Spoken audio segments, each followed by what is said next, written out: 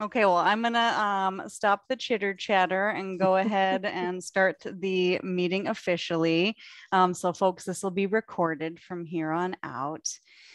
And uh, good to see everyone today. We do have enough people here uh, for a quorum, I believe, but let me just double check and count. I know there's uh, quite a few people who might be late today who have let me know ahead of time. Although, Joel, I see you. So I'm guessing the interview panel went well and thanks for joining. I, I may have to duck out partway through, but we'll see how it goes. No problem.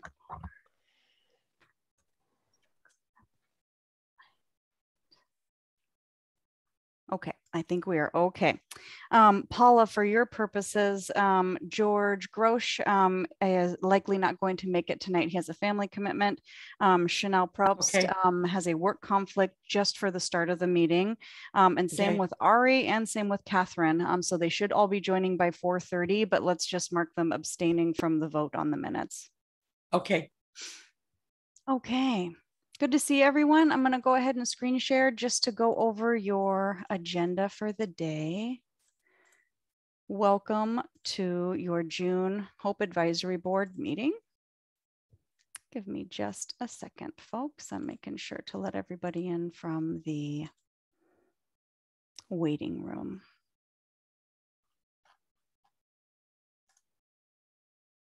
Okay, Anita and Nancy are joining now too. Wonderful. All right, just some Zoom housekeeping for the folks uh, joining us from the community today. Um, if you'd like to make a public comment, type into the chat your name and the topic of the public comment, uh, and we will take the public comments in the order that people type into the chat. And I'll be sure to pause to give um, an opportunity for anyone who's called in to also make a public comment. And that will be after we go over the agenda for today. All right, here is your agenda. And we will do meeting minutes approval, um, a quick update on staff capacity and a few community updates. And then um, Maddie Bean is here today. Uh, she is the coordinator from the Corvallis Street Outreach Response Team. The acronym is also SORT. Um, and she's going to be talking to us about what SORT does, what their policies and procedures are, what their protocols are, how they help folks. Um, and then uh, for the second half of the meeting, starting around five, we will transition so that you all can have a pretty robust discussion about the City of Corvallis's social services funding policy. Um, and it's not to discuss the actual policy itself. Um, that decision making will be up to our Corvallis City councilors, but it's more to give input to Jan and Charles about the process and the timeline for making this decision based on some um, factors happening in our community right now that overlap with this exact same topic. Um, and myself and Charles and Melissa Izavorin will be sharing some info on that before you have the discussion so that it can be as informed as possible. All right, just a reminder for all the board members and anyone joining in making public comment. Um, the culture of the Hope Board um, is kindness and inclusion and curiosity and open-mindedness and respect. Um, and so I'll be sure to remind folks um, if we start to veer away from that culture. Okay, public comment. I'm gonna go ahead and stop sharing and see if there's anybody. I don't see anything in the chat. Has anyone called in today who would like to make a public comment? I don't see anyone as a caller today. Okay, folks, going once, going twice. No public comment for today's meeting. Thank you. Just admitting a few more folks here. Okay, I think we have almost all the board members who I was expecting. Wonderful. We'll go ahead and screen share again so you can vote on your minutes. Uh, so I sent out the May meeting minutes uh, and I did not hear any edits or feedback um, and I reviewed them as well after Paula typed them up. Uh, I think they're accurate. So we'll go ahead and take roll and also approve your meeting minutes at the same time. But before we do that, are there any other edits that any board members would like to make to the May minutes? Oh, Jan. I would just like to comment. Sure, let me go ahead and stop uh, sharing, Jan.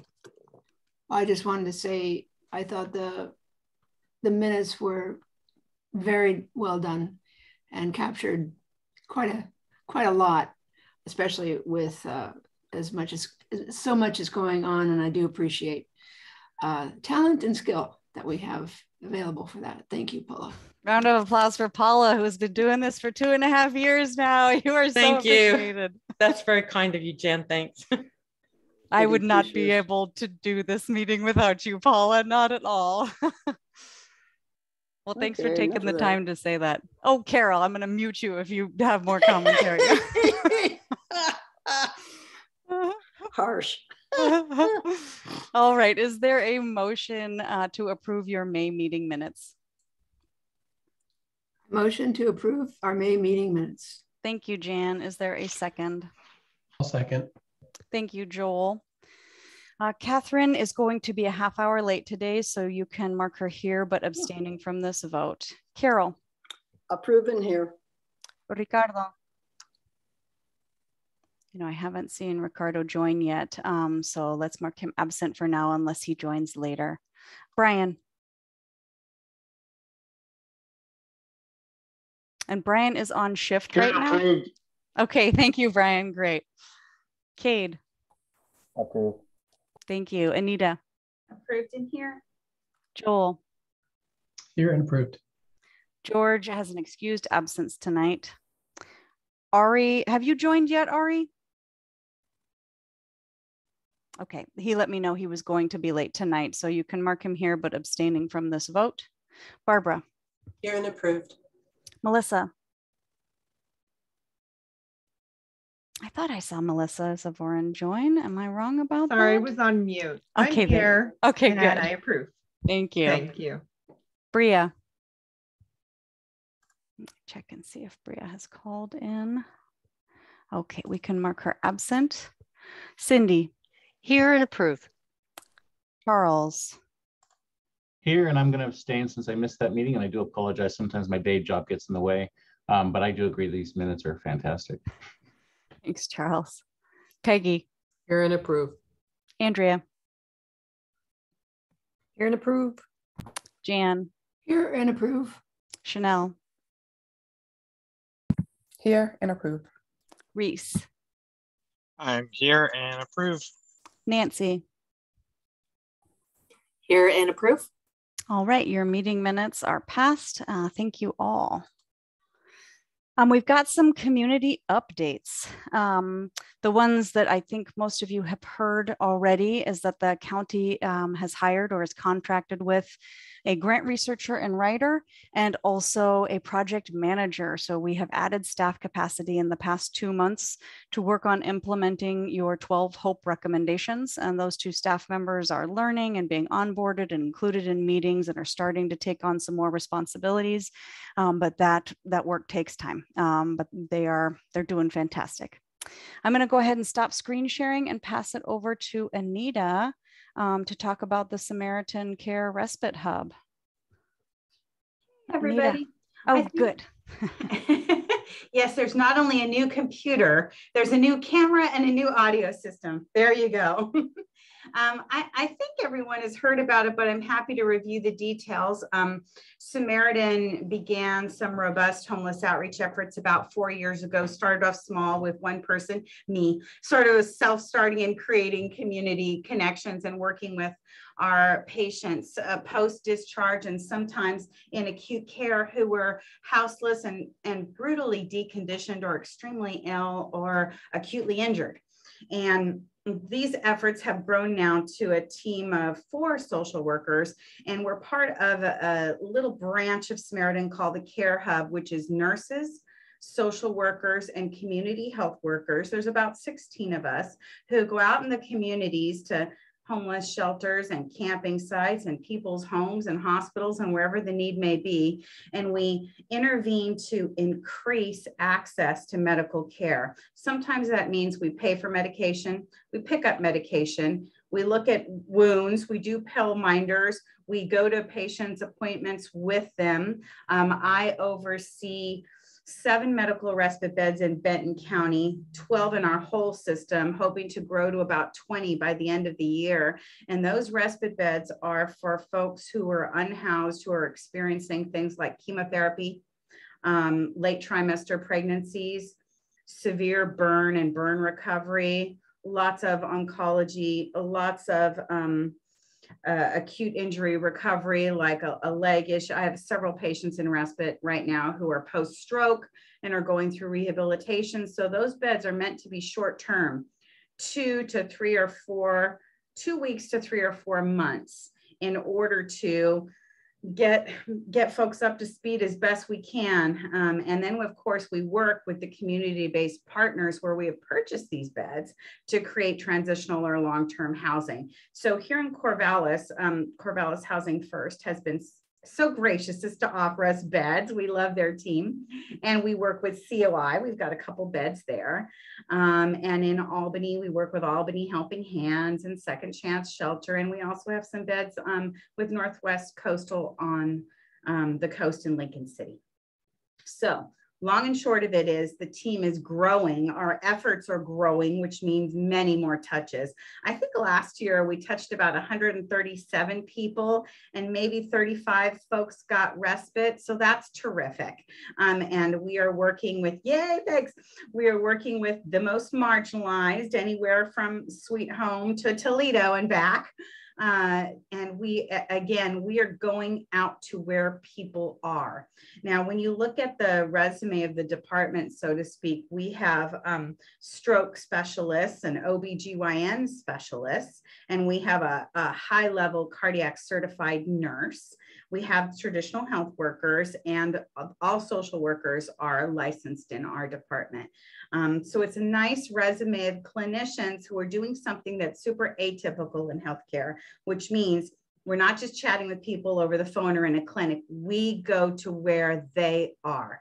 We change the power differential right out the gate by doing that, right? And we are all um, trauma informed professionals with a whole lot of love and expertise. So that that's a good snapshot update, I think, huh, Julie?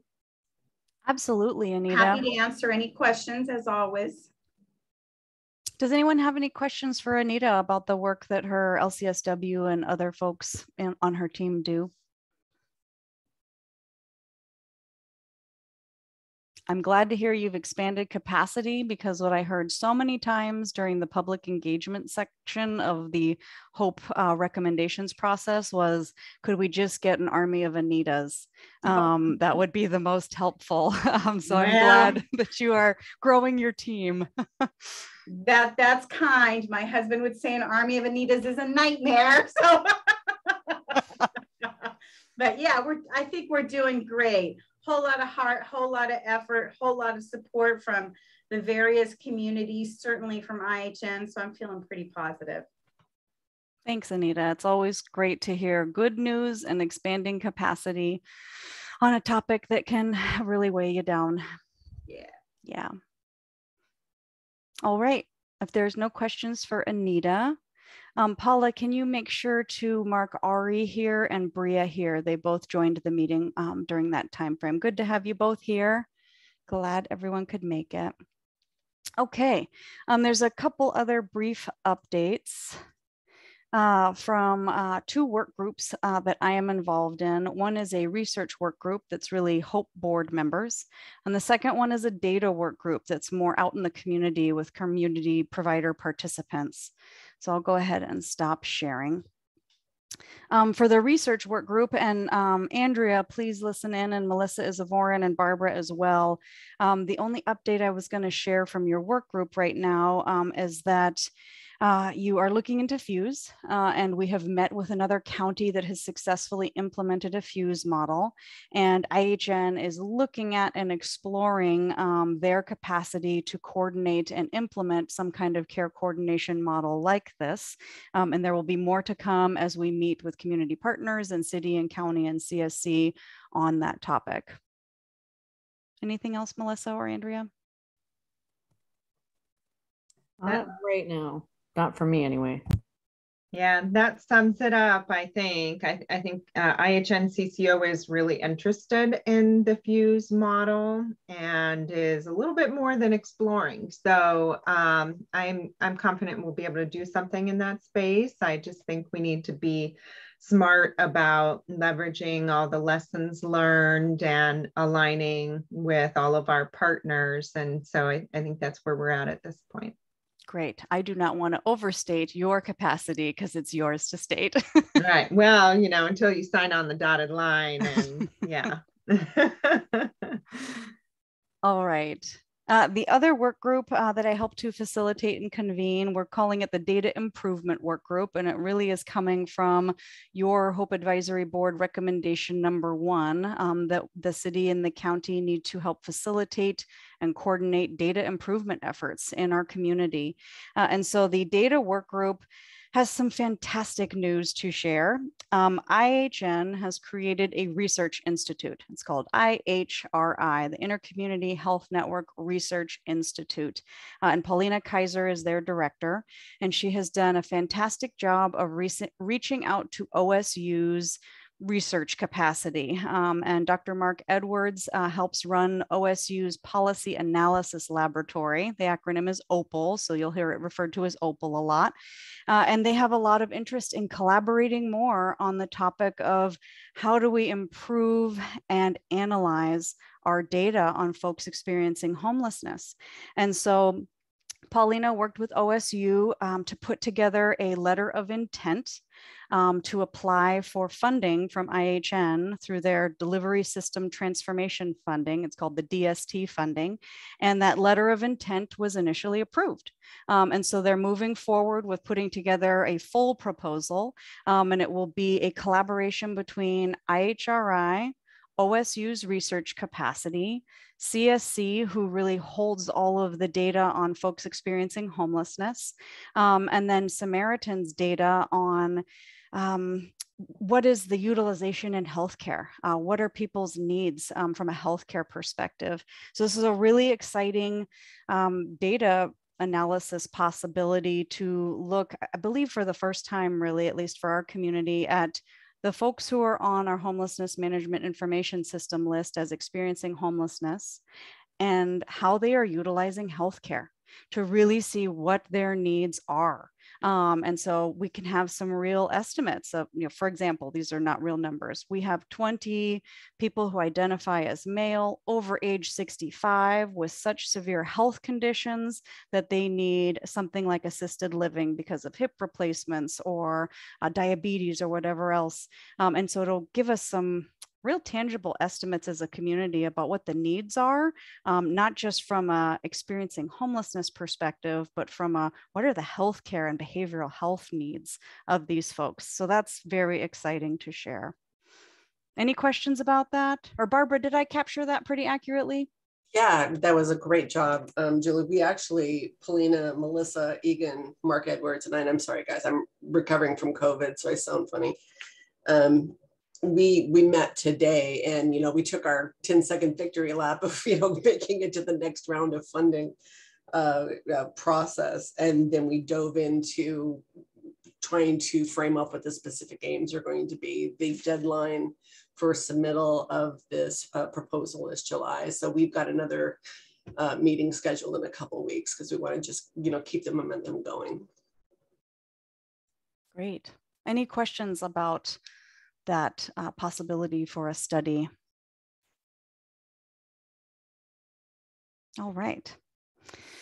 Okay, well, we can go ahead. Um, I, I, wanted to open it up uh, to see if there were any other community updates um, to share from our board members. I hadn't heard any, but I wanted to make sure to pause and see if there were any community updates.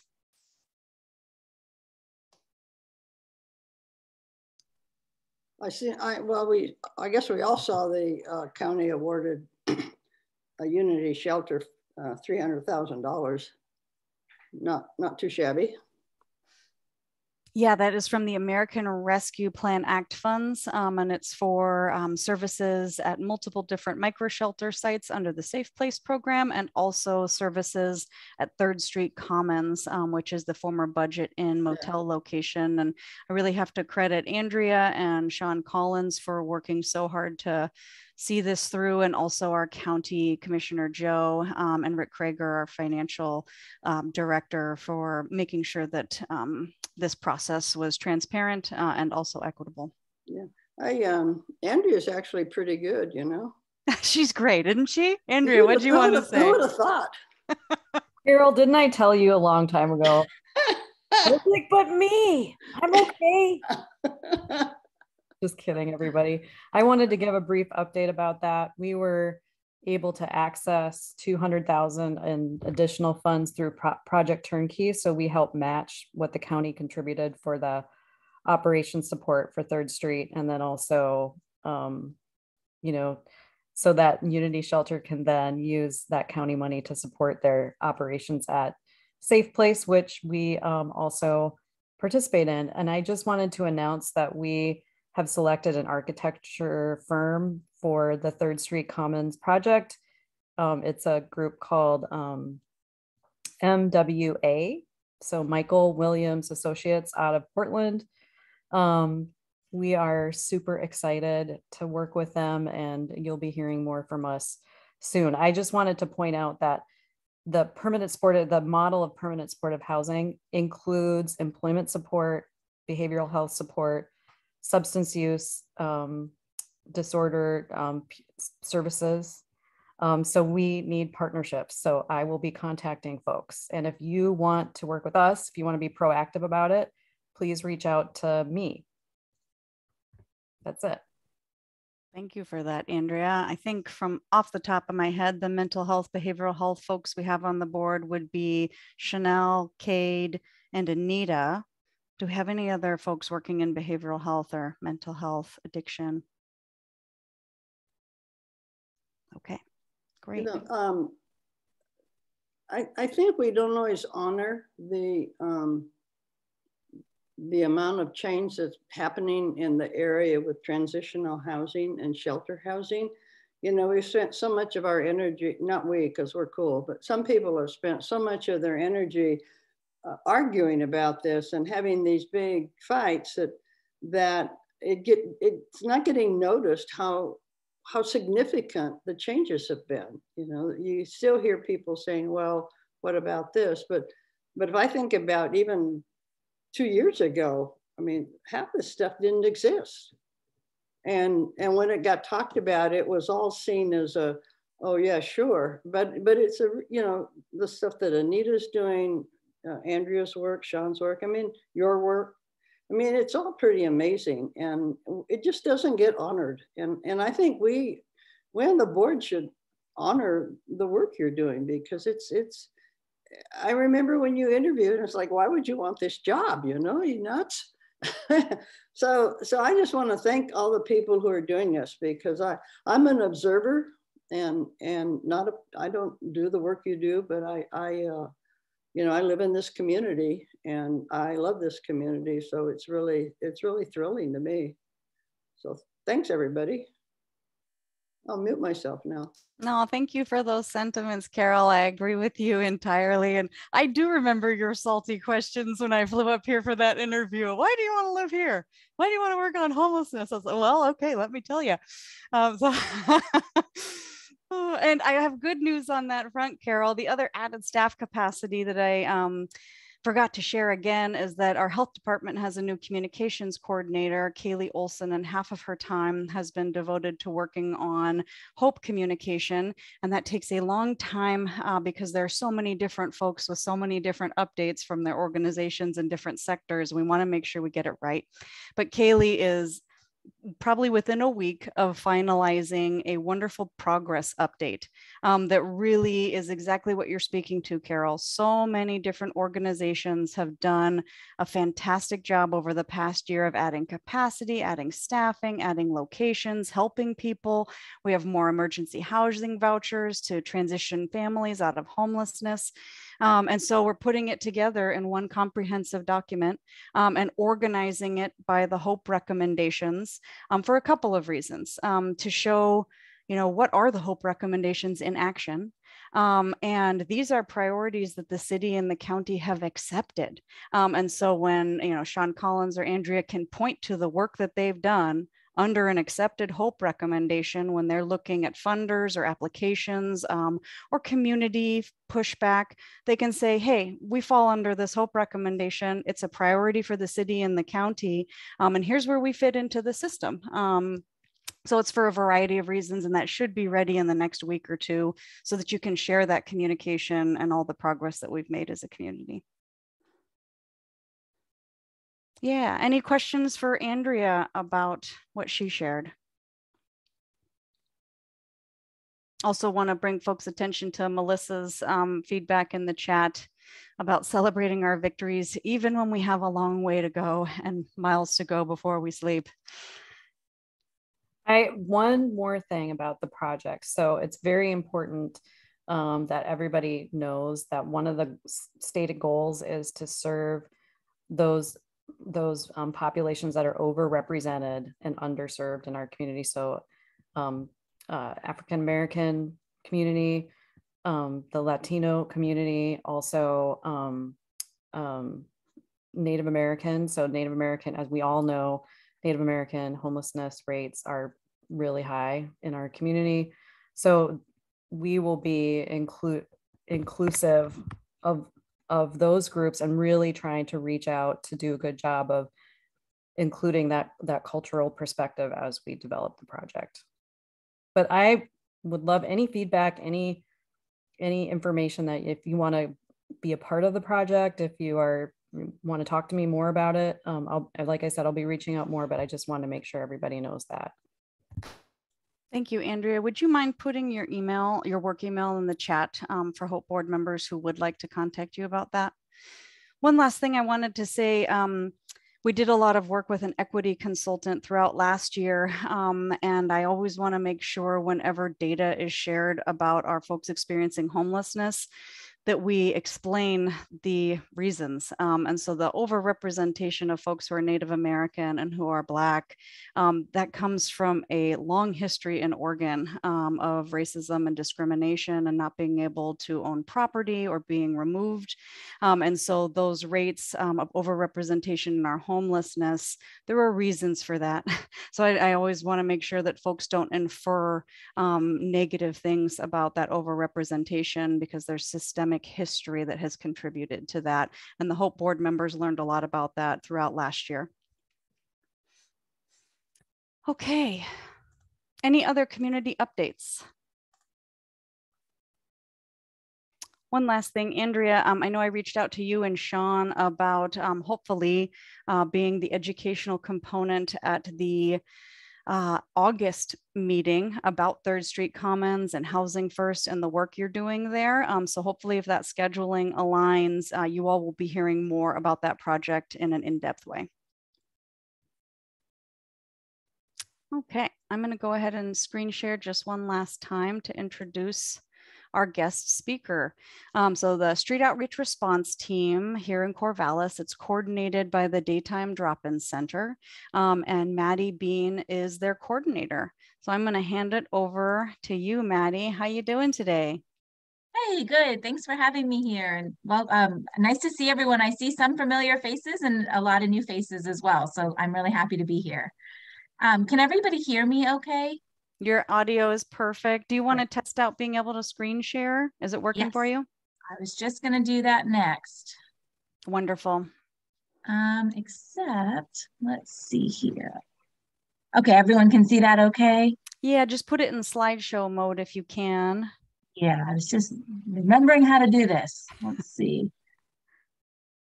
Okay, now it's in slide slide mode. Um, all right. So, so uh, Maddie, I'm going to stop you just for one second because we can see yeah. your outline on the right. Do you want it that way? Um, you can change the display settings. Let's see. You'd think I'd know how to do this. I taught multiple classes. I'm just forgetting which screen it needs to be on. Let's see if this works. Hmm.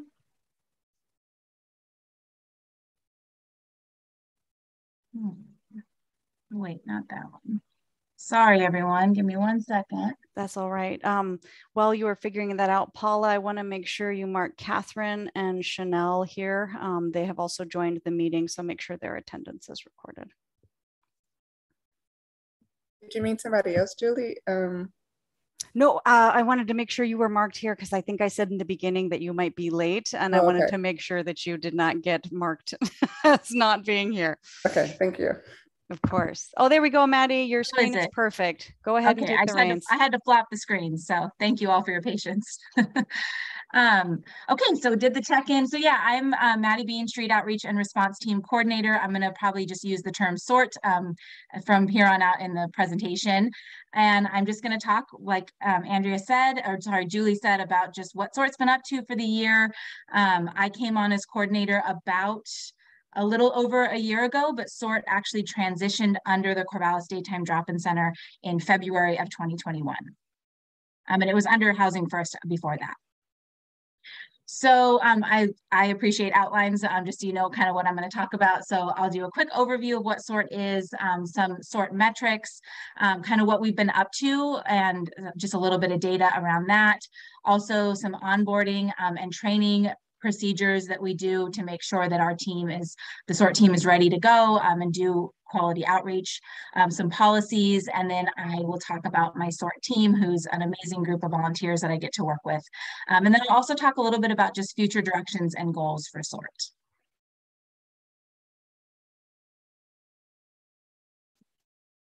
Okay, so we go out and do outreach on Wednesdays and Fridays between 9 and 11 a.m. And that is actually something that I've been able to grow. So before um, before I came on, the sort went out Fridays between 9 and 11. And so I've been able to add a second day, which is really important for multiple reasons. Um, just because we don't always reach everybody in one day. Um, and also because sometimes some of the things that we're helping folks with or navigating folks through um, requires a quicker follow-up. And so it's really great that we can get there twice a week. We do go at the same time. Um, and there's, if anyone has questions about that, I'm happy to talk through it, but that's, we have debated maybe changing up the time and that could be something we do in the future as well. Uh, we visit various encampments in our community where unhoused people are living. We are mainly reaching people who are living in tents or directly on the street. Um, not as much car or RV, um, people living in cars or RVs, although we have done some outreach there too. And um, there's a lot of goals for SORT, so I'm just gonna go over some of the kind of the main ones here. Um, so number one is building relationships and mutual trust with the people that we're visiting. Um, that's really, really important just to, to be able to have real authentic interactions. There has to be a level of, of trust um, and also just mutual respect that's going on. And so that's kind of the cornerstone of what we're doing and just going out every week, multiple times a week so that people know who we are, um, they can see familiar faces. And I've we've also worked to have what I've called the stable teams approach. So I'm trying as much as possible, given capacity, to send the same people to the same locations every week. Um, and through that relationship building, we're able to, to um, basically get to know and learn about people's needs and goals as well as the barriers to achieving those. And so we're able to to help break down those barriers as much as possible make connections um, when that's what's needed and also um, just kind of understand what's standing in the way for people achieving whatever goal they have that day um, we work to also connect people to services. So SORT is a collaborative effort. There's service providers that come out with us from various organizations. Um, and so sometimes those connections happen directly when we're out doing outreach and other times we're on the phone or we're uh, making appointments with people for a different day. But we, we definitely make a lot of connections, um, service connections for folks. And then we meet people's basic needs. So we carry out coffee. That's kind of our foot in the door um, coffee. And actually it was Andy, one of the awesome team lead volunteers that's been with SORT pretty much since its beginning. So most before I got there. Um, and he started bringing coffee. And so we've now, every team carries coffee and hot water. So we're able to offer oatmeal um, as or soups and things that we can make with some water as well as coffee. And that's just a really great conversation starter, especially because we're often waking people up at nine o'clock in the morning um, or, or just just meeting them when their day is just getting started. Um, and then we um, help with ed education and support around harm reduction in our community. So we do direct communication. I'm on the phone pretty much every outreach day with Chris Gray, I'm Benton County Harm Reduction Specialist. Um, but we also work to educate people on things like overdose prevention. Um, we have fentanyl testing strips, and through our partnership with Chance, we've been able to actually carry out and distribute Narcan as well. And um, we stay up to date on camp postings. So that's been something that I, that was already part of SORT's work that I've definitely um, grown in is just staying up to date on who's being posted, who's being swept, where people are moving to, all of that. Um, and finally, we I do coordinated entry as well, and I connect people directly back to our needs navigator to, um, to do the coordinated entry process in the VI SPDATs with um, Anne as our needs navigator.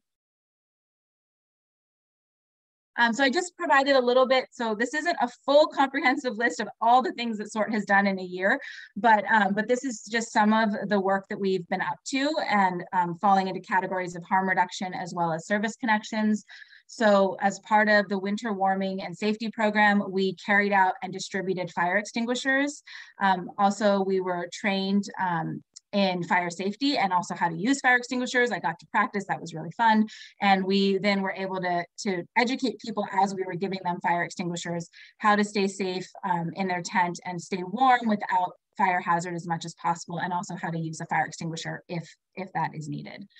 Um, I already mentioned we connect with Chris Gray. It's an average two to four connections per week. Um, we give out, depending on the supply, it's anywhere from one to six Narcan um, doses per week that we're giving folks. Um, and that's not us giving them Narcan, it's us giving them the dose so that they have it in case um, an overdose were to happen. And we don't ever just give stuff. We also, like there's awareness building and education that goes with that. So we talk about safe using, never using alone because Narcan is useless if you happen to overdose and you're not with somebody else. Um, and then we have, we were also working really hard with um, educating around COVID-19 transmission and connecting people to the vaccine clinics that happened at the drop-in center. Um, I've listed a bunch of different service connections that we make and are continuing to make on a weekly basis as well. Um, so getting people on the housing wait list, um, one here, the support with letter writing and section eight application, even though that's kind of a unique case, it's not something that we do all the time. I was able to help somebody um, basically write a letter to stay on the housing waitlist and then get their section eight application submitted.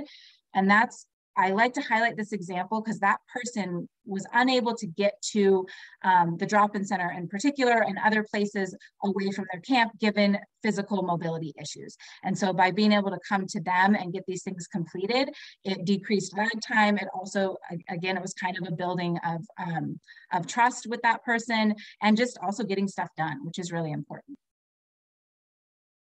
Uh, we do phone applications, ride line appointments. I've waited for people to make sure they get on their ride. Um, and then during the holiday time when we had gift cards, we also signed people up for those. And then the pit count. So SORT has, again, before I got there, SORT was already a really integral part of making sure that the pit count, um, that we're counting everybody in the pit count that we can.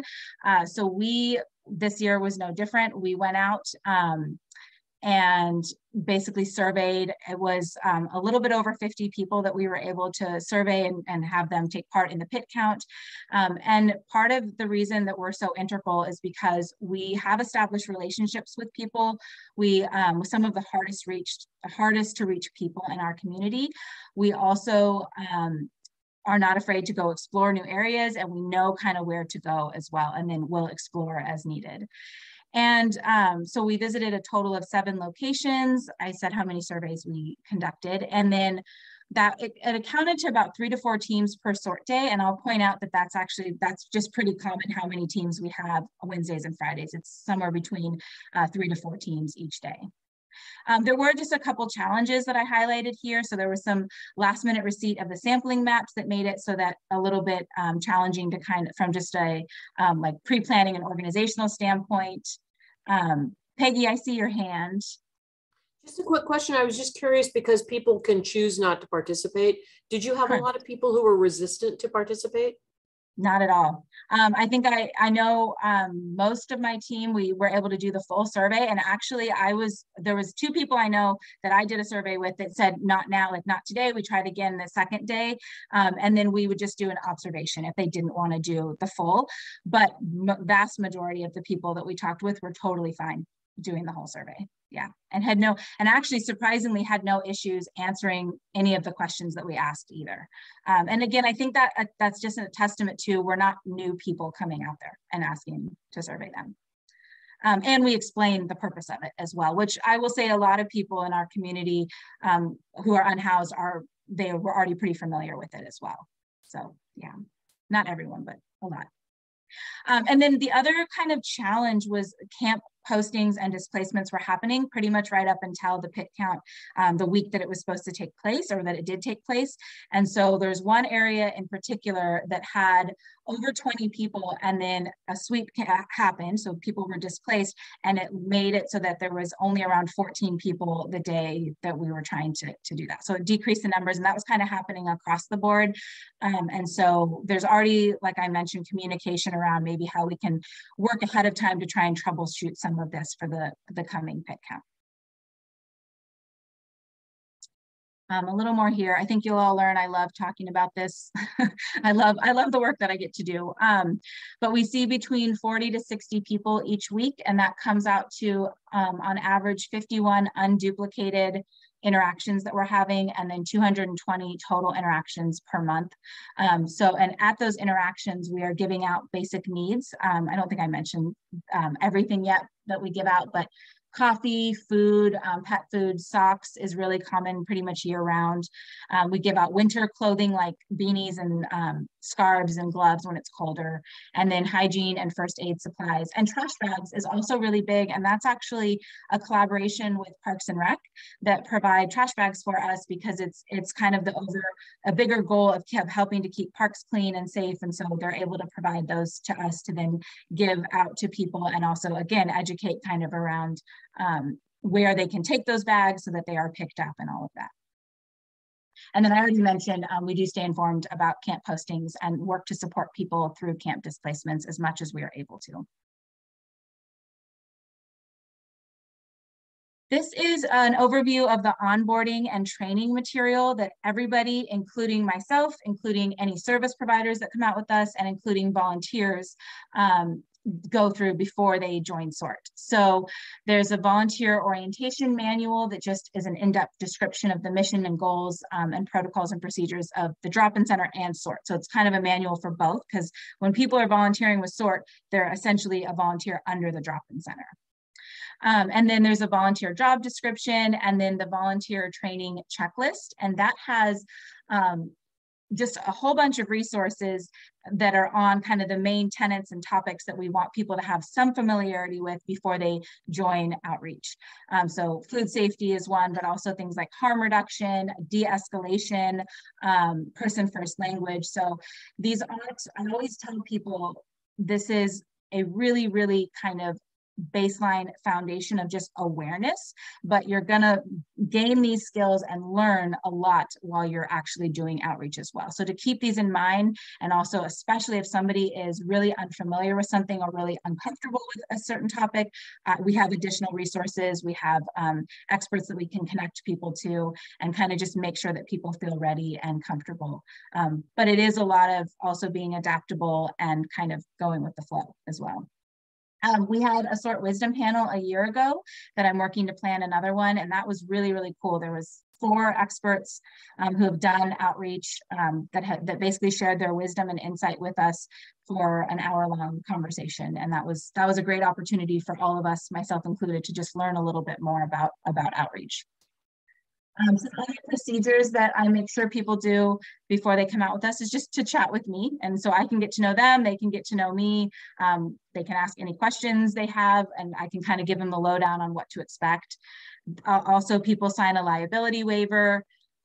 for the first few visits out, um, it, it kind I mean, it all depends. Every some people come with more experience or it's just more in their comfort zone. Others maybe not as much, but there's definitely kind of a shadowing component where um, new volunteers are just more there to kind of observe, um, still like help with coffee or whatever else, but definitely not take on like a lead role for at least a few months um, until they feel comfortable um, taking on a lead role. And some volunteers, I also have a very open communication policy um, and really work to uphold that so that people feel comfortable chatting with me. But some volunteers don't ever really want to be leads. They just are really comfortable kind of being there to support, um, being there in solidarity, but they don't want to be kind of the, the, the front person of the team. Um, what else? Let's see.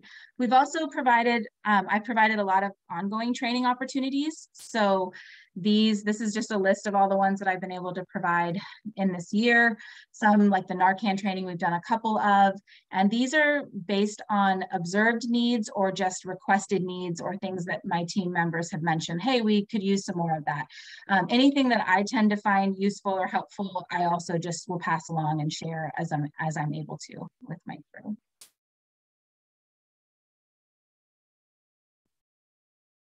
And policies. um, and we're always reminded of these and kind of going over them because um, sometimes it, just situations are unique and you have to kind of be reminded like what what sort does do and what we don't do. So we don't provide, we're not a transportation service. Um, and I kind of learned, I'll be, I'll admit I learned that hard way, um, but we don't have the capacity and also from just a sustainability standpoint to be able to provide rides to people, whether that's to appointments, but we can form, you know, we can make connections with Rideline and we do that. Um, we also in like a situation where somebody is has been posted and needs to move, um, we often get asked if we can help and we cannot do that for, for a variety of reasons. So that's one major policy. Um, we also don't make promises and I would say all of my team leads and members are awesome at kind of knowing that we can't make promises. We all have huge hearts and um, want to fix people's you know problems, but we realize that sometimes those are really complicated and we may not be able to, or we may not be the best equipped to do that. And so we are able to kind of take a step back and maybe say, you know, we can try, or we can look into that, or we can connect you to somebody who's appropriate, but we don't use the term, you know, I promise that I'll get you that or get that done.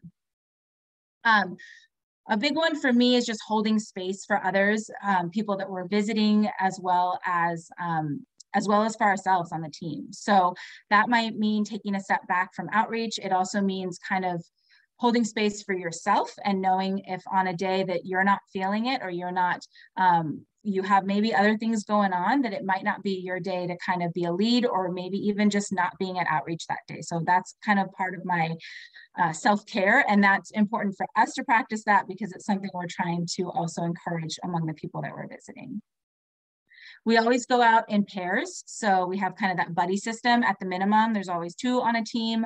Um, and at the most, we keep it to about four. I try not to go over four people per team because that's pretty overwhelming. Um, if you just think of four people approaching you, um, even if you know one of those people or multiple, it still can be kind of overwhelming. So we try to keep teams anywhere from two to four people. Um, and then I work to, we, we all work to uphold community safety for all. So that includes us um, doing outreach as well as the people, and just as importantly, as well as the people that we're visiting. So we want to ensure that everyone feels safe in a given situation. And if for some reason that safety uh, feels threatened for any reason, or it doesn't feel like it's a great interaction at that moment, then we, we leave. Um, and we might just move on, or we might leave the area completely. We might come back at a later time um, or connect again somebody to a more appropriate person, just given the situation. Um, that doesn't happen all that often, but it has happened before. So just kind of, again, respecting the safety of everybody in the situation. Um, and then last, we also announce ourselves. So that's really big is we're coming up to people who are often in tents, who can't see us coming. So I have gotten really good at projecting, um, but in a very kind and welcoming way. So trying to, you know, let people know who we are, um, and most people, when they hear SORT or when they hear out, street outreach, they know who we are already. Um, but if they don't, we introduce ourselves um, and then we just explain why we're there and what we're there to, to offer. So currently I was looking at my list. I currently have 24 volunteers on the list, on the SORT volunteer list. Um, it has been as high as 30 before. It's summertime, so we've lost some, some um, students that have, um, you know, gone away for the summer. But uh, we are, I'm working to kind of grow that back up. And it's kind of this intricate balance of how many is enough versus how many is too many volunteers. Um, and it's kind of always just figuring it out. But we log between 90 and 110 volunteer hours per month. So this is sort is primarily volunteer. Um, so that's, I'm the only paid staff person on sort and I'm uh, part-time, so 20 hours per week. So we absolutely could not, sort wouldn't exist without all the amazing volunteers. And those hours are only volunteer hours. So anyone who's getting paid, um, whether it's, you know, you're on the clock um, through your other organization, then that's not logged. So these are just people that are volunteering their time to come out with us. Um, I mentioned that sorts of collaboration across many organizations. So currently who comes out with us, we have providers from Corvallis Housing First, from Chance, um, from Unity Shelter. We had people from Easter Seals. Unfortunately, um, through other for other reasons that um, has ended for the moment, but hopefully we'll be back um, at some point. And so beyond just the people that come out with us, we're, and we're building that too. So we're um, we were in communication today with people from the county, and we'll have people from the county joining us as well. Um, we have others at the drop-in center, like Samaritan uh, care managers, who are, will either connect with us. I've had them join at times as well. Um, so it's kind of always growing, but these the Corvallis Housing First Chance and Unity Shelter sort of the, the most consistent on a weekly basis that joins us. And then my team's really diverse. So I have the, the privilege of working with just a diverse group of volunteers who bring their own unique experiences, perspectives, and skills. And that is a huge strength of ours. Um, what else? So some future directions.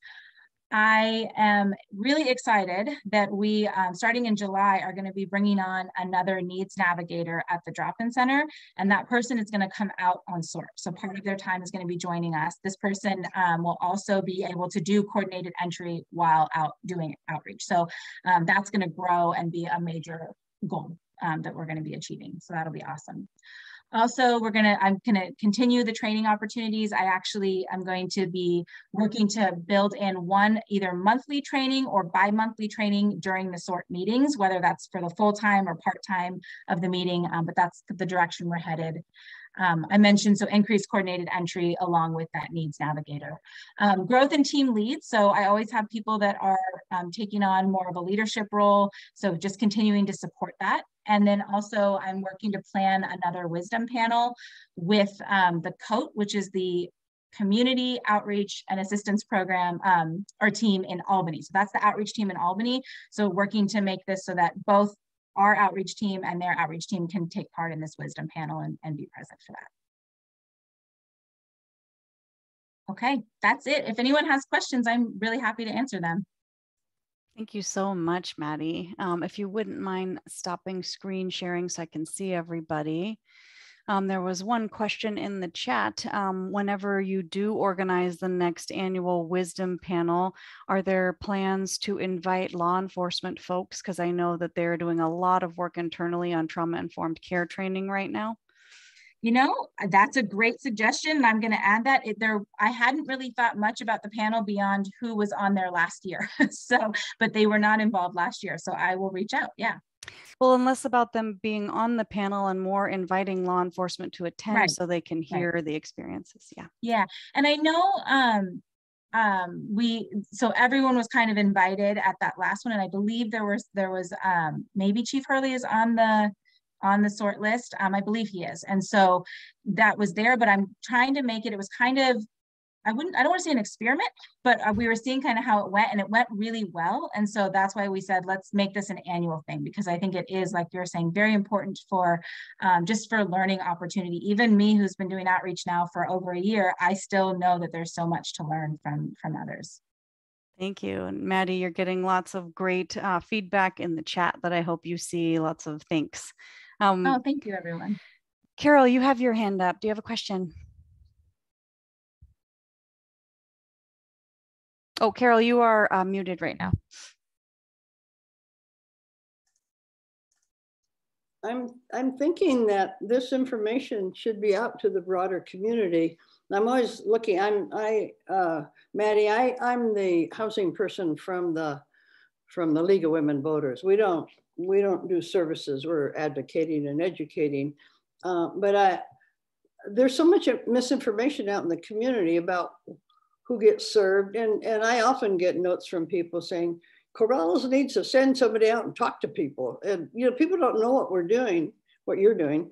Um, and I'm thinking that either a, a, league program or somewhere there, there should be a, there could be, there ought to be a, a public program uh, just to educate our community that there's a, particularly the statistics you have, you know, how many people you're serving and, and that it is all volunteer and really the impact you're making in terms of, of probably diffusing a lot of tension and maybe anger that people have that again is not not appreciated. Um, so i don't know if you or or if if julie I, I mean i don't know if this is an idea that that can go somewhere or not but all the time you're talking i'm thinking this is terrific. This is terrific. People need to know about this. So does anybody if, if there were a program do we think anybody would come i guess is the question. Because the people who do service already know about it. So we'd be talking about the larger community. Well, maybe we uh. should just put it in our back pocket and think about it because I, I feel like there's a lot of information here that would really uh, be terrific to get out there. Carol, why don't I follow up with Maddie about the best way to transmit some of this information Absolutely. to the league or to the greater community and I can sure. share it with you all. Sure. Yeah, that that sounds great. And thank you so much, Carol, for what you said. I actually, when I was first joining and going out, I made comments like we should be doing outreach to the broader community, to the house community, right? And and kind of spreading the word and also getting just a better feel for sort of people's perspectives and how we might challenge some of those as well. Sure. Um, but we have not done that. But yeah, that's so any way we can spread the word. Yeah. yeah. Okay. Um, Jan Napack had a question, but she just lost power. So we're going to not answer her question right now and wait till she joins the meeting. Uh, Barbara, you had a hand up. Yeah, thank you, Julie. Hey, Maddie. It was good to see you. Barbara and I go way back. um, you are doing amazing work.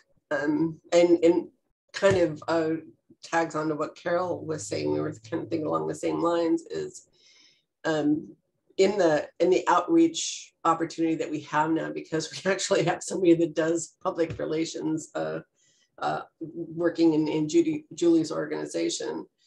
Um, do you think it would, you know, in, in the people that you have met, do you think that one or two would be willing to be interviewed and be like part of a story? So like this is the face of homelessness in, in Benton County. Yeah because I think that that would be really powerful. And then the other thought I had was um, I, I would love for somebody from the local paper to interview you and and have that be pushed out more broadly. So if there are community members that are, you know, frustrated from what they see, but they don't, you know, they're not given the opportunity to you know figure out what they can do they can reach out to you and who knows maybe even volunteer with you so they can see firsthand uh, what's yeah. Yeah i love that idea. Um so in terms of um yeah, just having more people join that can learn about this.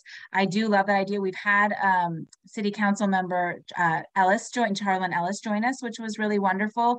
And so we do invite people to join. I still ask for them to do the training materials and all of that ahead of time. Because one thing that I'm really, we we just are conscientious of at the drop-in center in general is we're not doing like tours of poverty, right? And so we just want to make sure people are are coming who um, even if they can't join, I've had plenty of people that can only come once, but it's because it, it is contributing to kind of a larger, their larger work that is still around um, homelessness in some shape, way, or form. And also kind of we're pretty transparent. So if we have new faces with us, um, then we, you know, we kind of share our stories too. Um, but as far as like people being the faces, we have had, and this is a testament to, um, again, Sort was here years before I got here. So I can't take all the credit for the amazing um, team building and like relationship building that is there. But my, my A team, I say that because his name is Andy, one of the team leads. And he was the first person I went out with and kind of learned like, okay, this is what it looks like when you've been coming to a, a, a community over and over for a year, a couple years, people really know you, they trust you. And we were able to actually bring in, it was a documentary, um, somebody from OSU making a documentary, and they like welcomed us to film, to go into their, into their um, camps, into their homes, um, and, um, and really get like, and, and we just had dinner and sat down with them right where they were and just got life stories. So we get that a lot where people are really willing to share.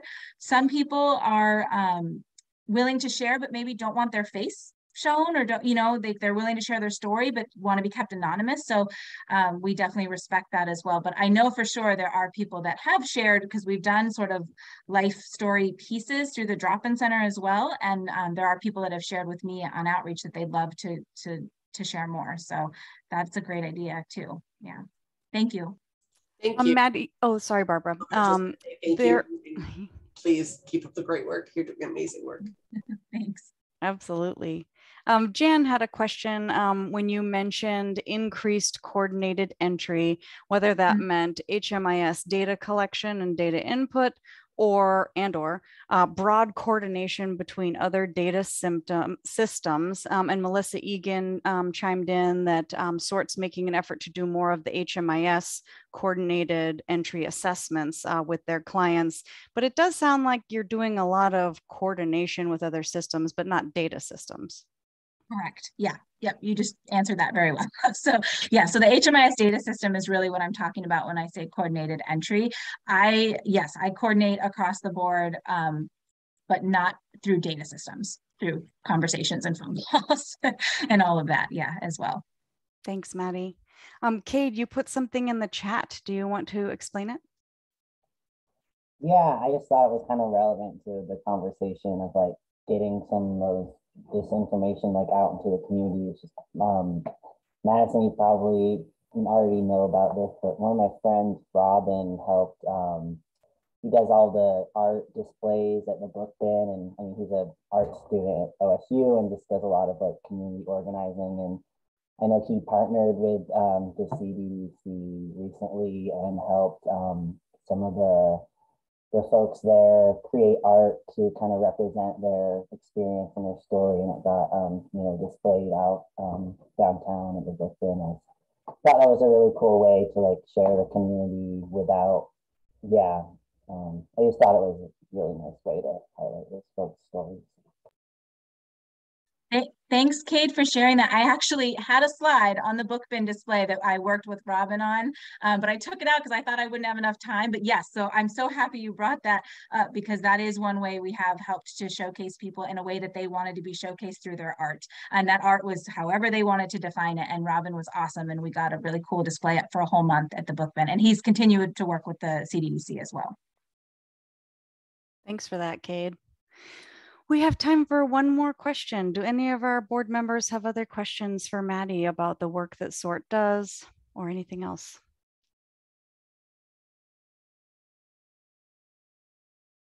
Okay, well, Maddie, thank you so much for your time. Um, and please share that PowerPoint with me and I'll include it so it's posted to the HOPE website and I'll send it out to the board members so they can share it as well. Would you like me to share it as a PDF or a PowerPoint or both? PDF is better for some of our board members. Okay, sounds good. Thank you all so much. And all of you are doing great work too. So thanks for being here. Thanks, Maddie. Different work at different levels. Different work at different levels, but it's all community. We're in this together. Okay, well, thank you, Maddie. Um, I am going to let us take a three minute uh, bio break um, and rejoin at 5.06 um, to start the conversation of the uh, policy discussion. So return in three minutes at 5.06. Thanks, folks.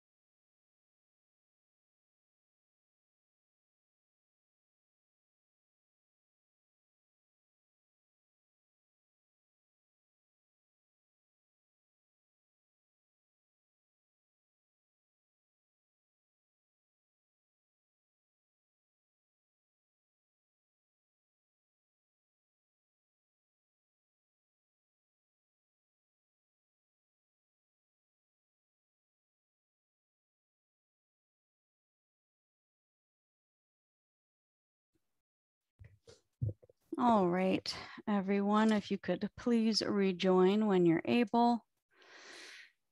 And we can get back to your meeting and shift gears a bit here. Um, the rest of the meeting is dedicated um, to a policy discussion.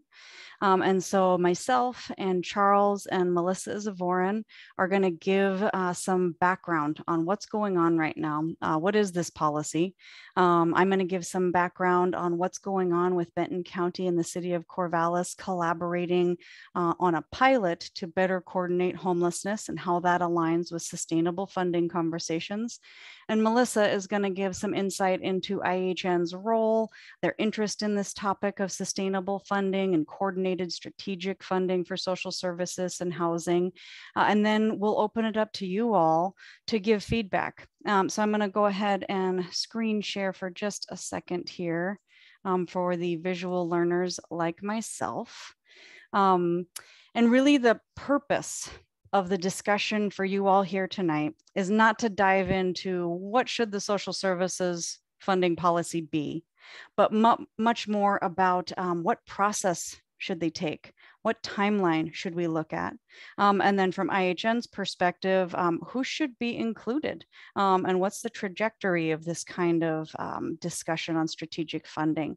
So I'm going to hand it over to Charles to talk about what the policy is, um, why the council's deliberating on it, uh, and then the goals of the discussion tonight from his perspective as a city councilor. And then we'll go to my portion and Melissa's, and then open it up for the full conversation.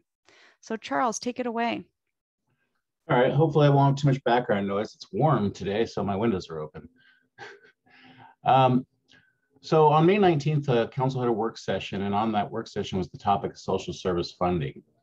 Um, they, you know, wanted to, uh, council to provide direction to staff regarding our council policy 00-6.05 for those who want to look it up. Um, over the years, workloads have not allowed review for several years, uh, like since 2013. Um, and it's supposed to be reviewed every three years. So a long time has passed without reviewing our, our this policy. Um, and a few of the things that kind of spurred to bring this kind of forward finally um, was our recommendations of providing shelter and um, the city receiving a large one-time flexible spending amount of money. Um, they provided some information, the fact that things we already know, like Corvallis is one of the fastest growing cities um, and that uh, Corvallis is number one rent burden community in Oregon in 2021. You know, so we, we have some problems and a lot of other information, but you can you can go back and review that work session. It's all online. You can see the whole thing. Um, since that time, I learned recently that, um, well, I knew about it, but knew about what the outcome was. Three councilors met unofficially, I want to make that clear, um, with service providers to discuss some questions that they sent out ahead of time um, 13 providers were present, five providers that did not attend but answered the questions. I would have been there, but uh, like I stated earlier, sometimes my daytime job gets in the way of things. I was actually on a work trip to Bend. Um, um, they asked several questions. I can repeat those if you want to know what they are. Uh, mainly discussed around the $360,000 levy and the CD, CDBG um, funding. We had a very powerful discussion. Um, one of the things I'd like to share that came out of that apparently is that providers and the few councilors that that were there felt that this needs to happen more often. That, you know, many people on council feel like we need more interaction with the people doing the work because getting it relayed through staff sometimes there's a disconnect. Um, they do have a planned proposal uh, coming tomorrow's work session um, to have the levy stay with social service funding uh, direct specifically pro to provide services. Um, so tomorrow on June 23rd, we'll have another work session and the questions that are being asked for council to consider um, um, mainly because during the last work session, several councilors um, indicated that they wanted to add housing to the social service policy. Um, so the questions are, are there items that the council wants to add, remove, and or better define? Does the council want to make the social service policy tied to services with housing specifically? Um, does council want to continue to have United Way administer the $360,000 of annual social service levy funding? And is there a better way to align the funding streams from the city? So the concerns that um, I raised uh, during our executive session, which kind of spawned this conversation, is one, I value the opinion of the Hope Advisory Board. You know, a lot of great work's been done over the last couple of years, especially given COVID. So I, I think your opinion is more valuable than a lot of other opinions because you're the ones who are involved in this subject. Um, and the concern is if there's a shift in the the social the, the social service funding policy, is that going to negative have negative effects? You know, we we do acknowledge we need some brick and mortar. We need you know places for people to live and additional expanded. So, uh, sorry, busy work today. I'm a lot of noise now. you know, we do need additional shelter beds, but we you know at what cost? We will make sure you know what your opinion is on like like Julie already said, that moving forward, how should we be viewing things? And just want to hear your opinions on, you know, how should we address this? Is that covered, Julie? Yeah, I think so, Charles. And just wanting to be real clear about the Hope Board's role here.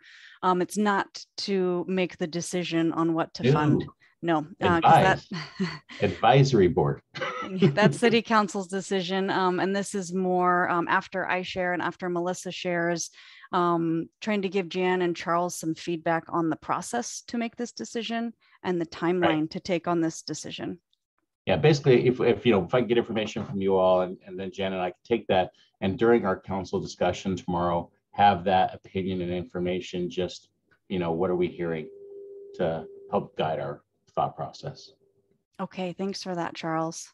Any questions about the policy itself um, or city council's decision making on that before we give you some more information? Peggy, is that a question or just moving your hands? Okay. Um, I would like to quickly add, I, I spoke to a few constituents and they were concerned that that it was this reviewing this poly was like policy was some sort of reactionary thing. And really, as I stated, we should have been reviewing this policy every three years. And it's just kept, you know, when things come up, things get put on the back burner, so to speak. So it's overdue. It does need to be reviewed and updated to what we need now. Thank you, Charles. Okay, I'm going to go ahead. Um, so I wanted to provide an update, and I know I've touched on this before, um, but there was a House bill at the Oregon State Legislature um, to fund eight different counties in Oregon as pilots. And so Benton County is one of those pilot areas, and we're working collaboratively with the city of Corvallis. Um, and the goal of this funding and the requirements of this legislation are really to coordinate our response to homelessness, to communicate it in a coordinated way, um, and to utilize this state funding over the next two years um, on a coordinated homeless response. And one of the requirements of this pilot um, is to create a five-year strategic plan um, and about the next year. Uh, and one of the requirements in the five-year strategic plan uh, is to include um, ideas, thoughts, or plans on sustainable funding uh, for homelessness response and services. Uh, so what that really means is, you know, how are we in Benton County and the city of Corvallis uh, going to fund in a sustainable way? That means year after year, so uh, positions don't go away and locations don't go away. Uh, and that really aligns with what the city is uh, looking at right now.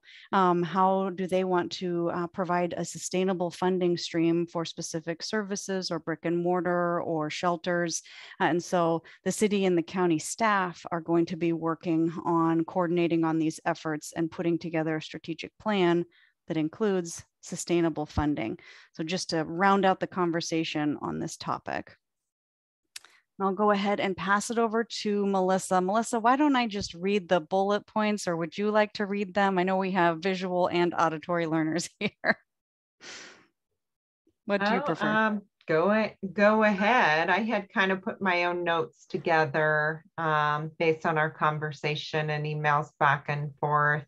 Um, I go ahead and read them, and I can add to in context. Okay, yeah, these were just bullet points I had sent out to you and Charissa. Um, Intercommunity Health Network, Coordinated Care Organization, IHNCCO. They are a Medicaid insurance company in the Tri County area for folks who aren't familiar with them.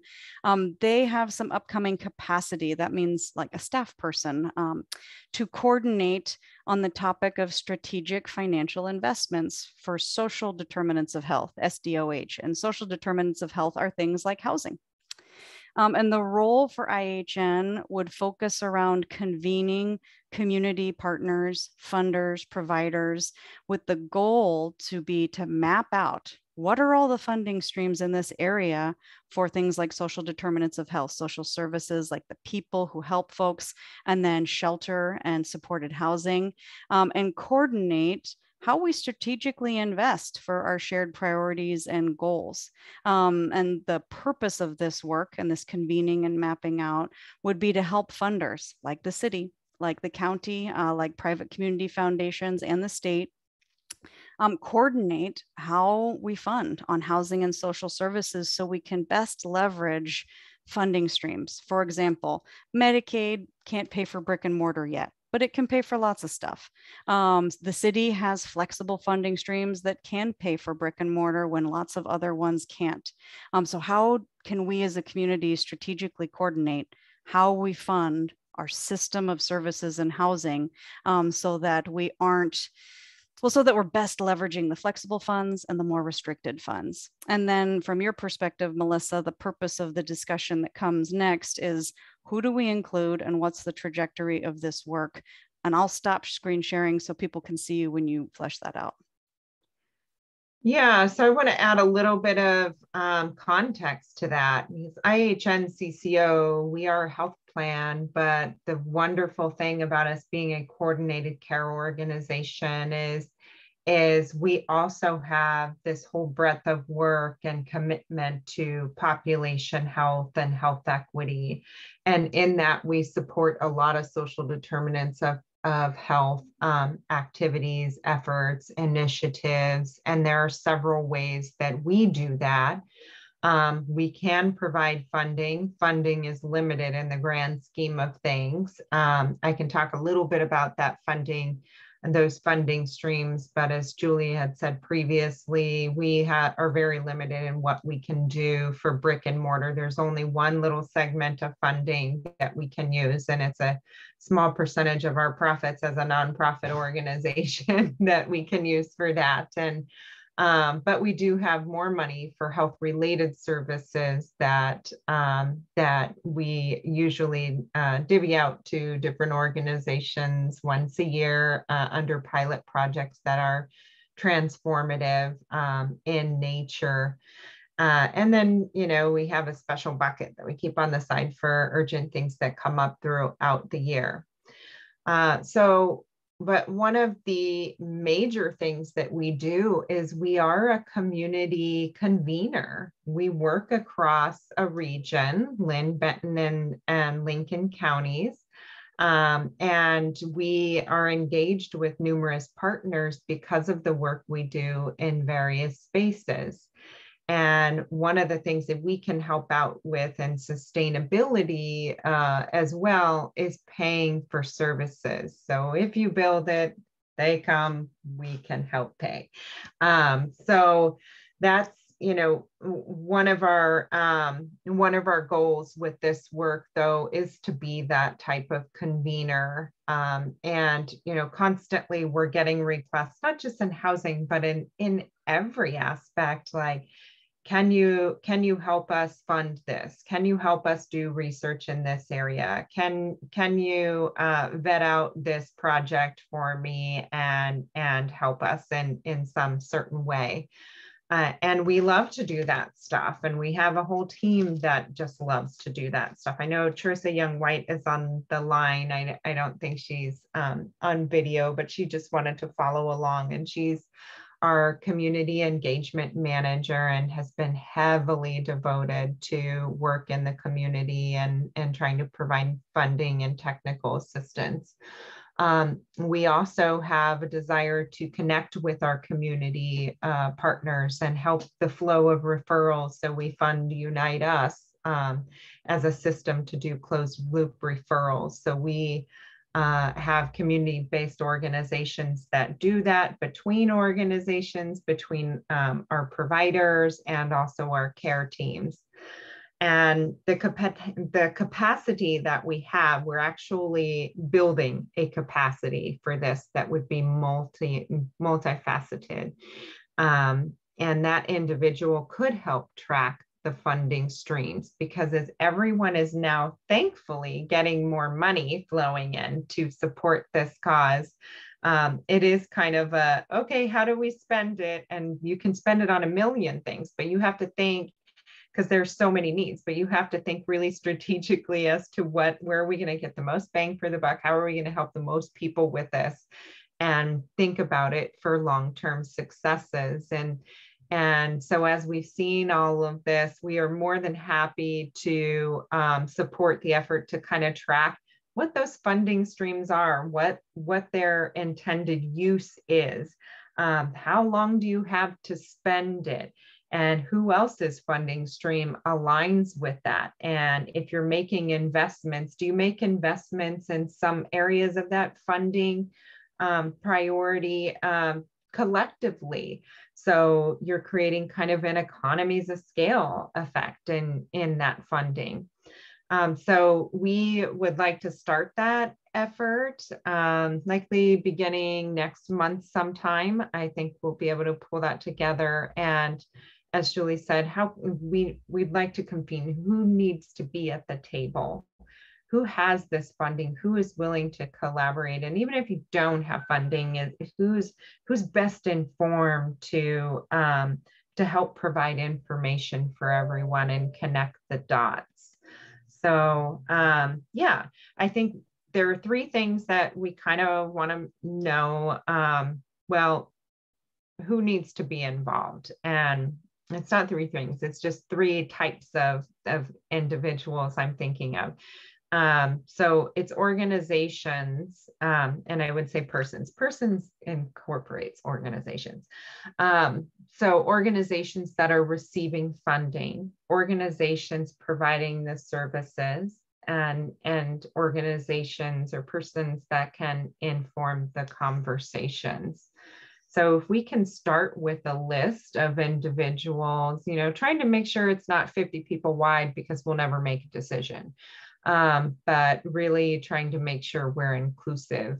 Um, I can start kind of mapping that list out. And it is also possible for you all to think about it a little bit and and possibly email uh, myself and and or Julie, and we can start to build that list and and invite folks to the table. Thank you, Melissa. Um, I'm going to go ahead and screen share one last time to kind of define um, what the purpose of this discussion is for our Hope Board members. Um, so knowing that IHN has some capacity to convene and coordinate funders and providers on this topic, uh, knowing that the city and the county are part of a pilot wanting to tackle this, what are some possible paths or timelines or processes for city council to move forward on this topic? Um, so sharing your thoughts as Hope Board members on immediate decision making to update the social services funding policy um, or taking more time for a collaborative and coordinated process um, with the support of IHN to convene and map out funding and funders. Um, and then interspersed in there, who should be included in this process that IHN is going to move forward with. Um, and then from Jan and Charles' perspectives, uh, the purpose of the discussion is so that they can help inform their process or timeline for decision making on this topic and for IHN to help inform their coordination efforts. So I'll go ahead and stop screen sharing and ask board members who have not spoken yet tonight, do you want to chime in on this? What are your thoughts on it?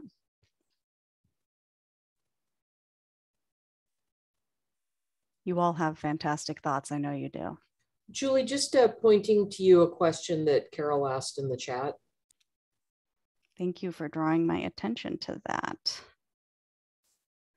Carol, do you want to um, share this verbally? Sure, I mean, I can. I, have been on budget commission for nine years. And uh, and in that time, the, the discussion often gets into uh, the city should own, we're talking about general funds, uh, the city should fund police, fire, and public works. Those are the basic services. That's what the city's about. And then it's always been a struggle to get funding for parks and, and libraries, anything that's considered by some people, and, including some councilors in the past, um, non-essential services. There's also been discussion uh, in those some sometimes that social service funding was great when the city had um, more money, but that's really the role of the county and it's not the role of the city. I, I don't particularly agree with any of this, but this has been something that has come up off and on. And so I was interested in from, from Jan and Charles' point of view, given this current council, um, what, where, where do you think the council is on this? I mean, the Budget Commission uh, is typically, it's citizens, not council, it's council and citizens. And it's a recommendation body, but the decision making is the city council. So no matter what the budget commission says, if city council says we're going to fund this, we are. But I wanted to hear from them what their sense is about where the city is on this. Thanks, Carol. Charles? Um, that's a tough one, really. Um, I wouldn't say that the their um, their their essential funding has not changed. You know, the general view is still the minimum necessities to keep the city, city functioning and providing services that are you know necessary, such as fire and police. Um, however, you know, I feel the discussion amongst councilors is always shifting. It's it's always moving. It ebb and flows. And lately, you know, there is a lot of discussion over trying to think of long-term solutions on you know this specific issue. So it's hard to say until you get into a, a budget discussion. But you know, other councilors have expressed the desire to have funding for you know housing and shelter needs. So, uh, Jan, if you have anything to contribute to that, I'd appreciate it.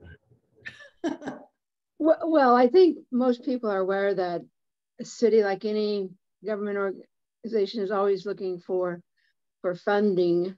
Uh, we actually have had to uh, create fees for uh, police and fire that are outside of the, the general fund, and um, and with those, uh, you know, for street fees, we have uh, as an example, we have a safety fee. As an example, we have the 911 district, uh, which is a tax, actually a bond. So we are not able to do our um, essential services with with the tax money and the that we get for running the city. We do have to charge extra fees, and therefore we do have a levy, and that levy, the livability bond, is what it was called for the last uh, three phases of this, uh, uh, provides services for Osborn, the library, Majestic Theater, those sorts of things. And it also does, of course, have the social services component to that. Um, and then we also have the, um, we get HUD money, and that's for the block grants, and 15% uh, of that goes to social services, direct homeless social services.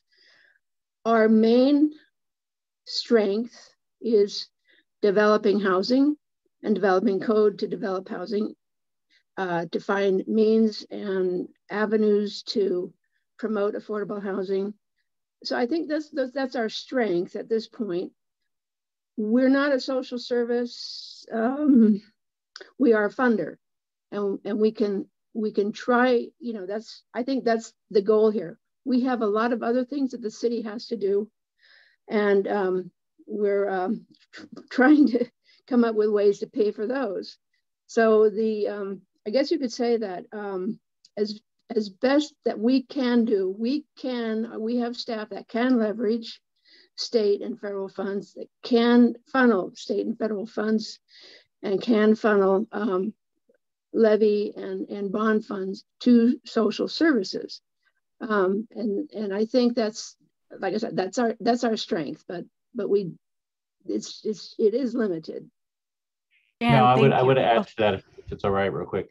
Um, you know, each councilor has their own point of view. I have a different point of view than than than Jan, and you know that's fine. That's why we have nine councilors. Um, you know, I do think the city could potentially have a role in being more involved with social services, but still on kind of the back end. You know, I mean, we the city currently owns property that it leases out to affordable housing for pennies on the dollar uh, I think is what 100 units up in north the north part of town. So it's not unheard of for the city to own property to build a, you know, basically provide it for free, nearly, uh, to guarantee affordable housing. So I mean, the city could take a different position, and obviously within the budget process, which you know, I would love to see more public participation in that, providing opinions. Um, someone could always make a motion and things could change drastically and you never know. It doesn't usually happen, but it could. Well, so can I, And it is the council's decision. Thanks, Charles and Jan. I just want to make sure to circle back to the purpose of the feedback from you all tonight.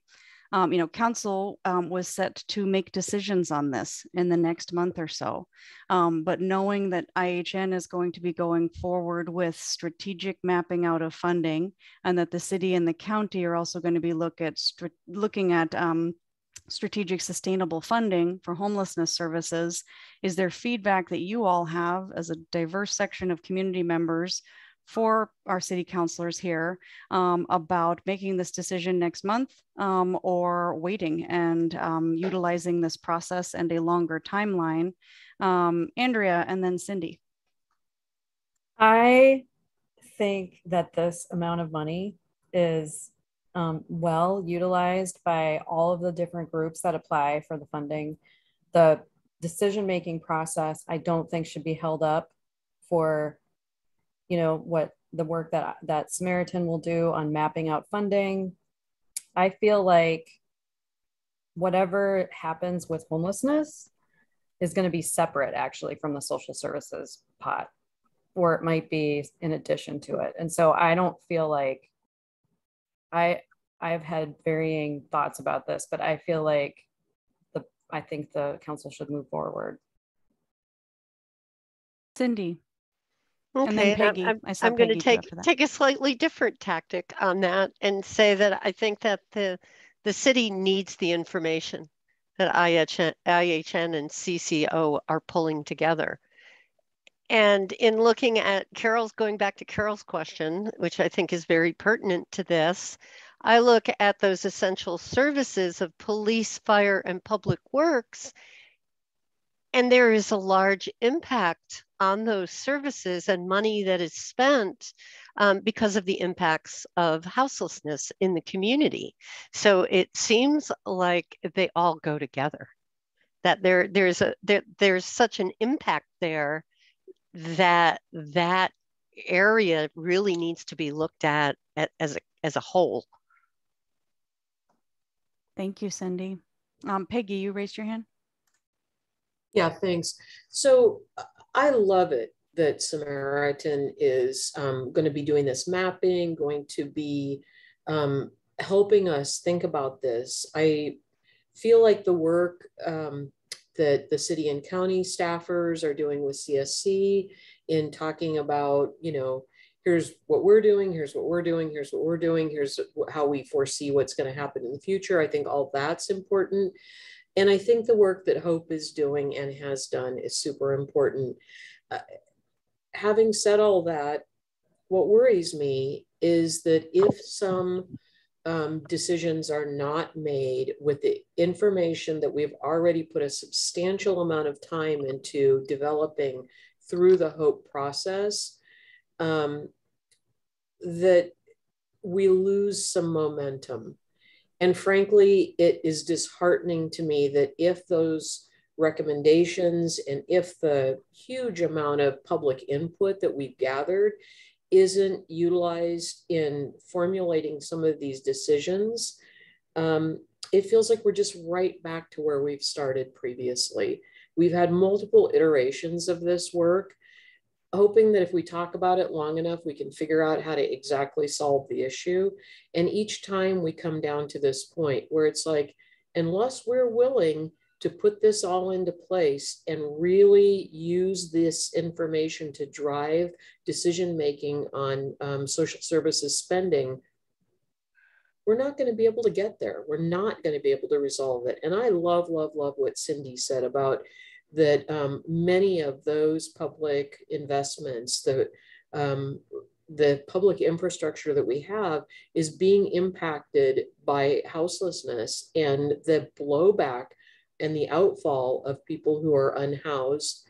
And so if we should, if we were investing in this money at the front, investing at the front end to prevent some of these issues, I, I just, I just see that as a, as a well thought out approach and I would certainly hope the city would be taking it into account. Thank you, Peggy. Catherine. There are some amazing perspectives and wisdom being shared here in this space, and I really appreciate everybody's um, willingness to share in those thoughts. I'm going to just throw this out there. Um, I, I see both sides of this discussion. I feel like we need to be responsive to the work that Hope has done, the needs that are occurring right now. Um, but I'm hesitant to say, let's just make that decision holistically uh, with this Corvallis Supportive Services funding. Because if we're looking at a five-year strategic planning that has to do with Benton County and City of Corvallis funding, then we really need to include our Benton County partners in this conversation alongside with the city council decisions in the city of Corvallis. I don't think they operate independently of one another, um, especially when we look at the pilot program funding and dollars. So my question is, is there a way for the Corvallis City Council to um, take a stepped approach to this uh, review for their supportive services? Can we make decisions that are occurring right now based on real-time data that is happening right now that we've collected, the recommendations that have been provided, knowing that there's a strategic planning process occurring and underway, and maybe not commit everything in this first phase, but look to commit over a period of, of time or a series of phases that include. So I would say that Benton County, when we look at homelessness, is not just Corvallis. And I know we know this, but it's just important to be reminded of well, what about in Philomath? How are we going to extend these services to Philomath? And I can speak from Philomath, but I'll speak for Adair Village also.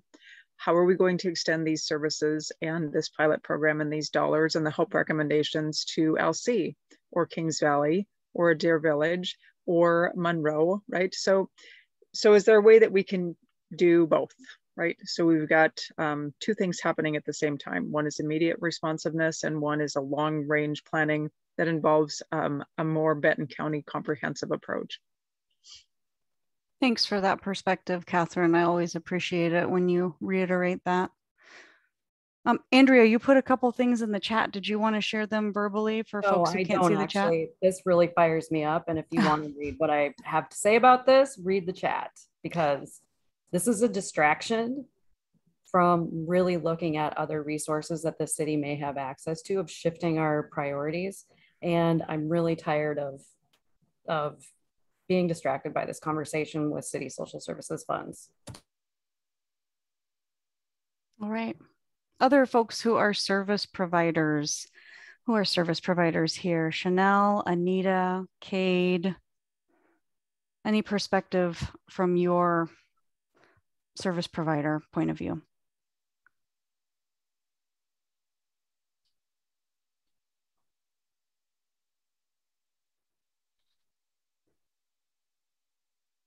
And how about our um, first responders and law enforcement, Brian or Joel? Do you have any thoughts on this process?